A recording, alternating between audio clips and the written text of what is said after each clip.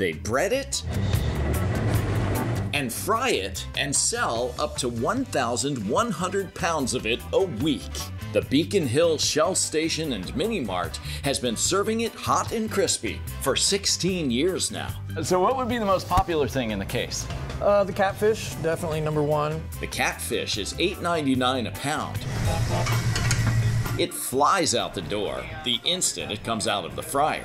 Get it fresh like this, hot, a couple tartars, good to go. You sell a lot more catfish than gas? I don't know if it's a lot more, but we do much better with the, the, the deli than we do with the gas. Is the price of the catfish going up and down as much as the price of gas? No, it doesn't go down. It has gone up a few times, and it is what it is. But it's worth it. Yes, yes, it is.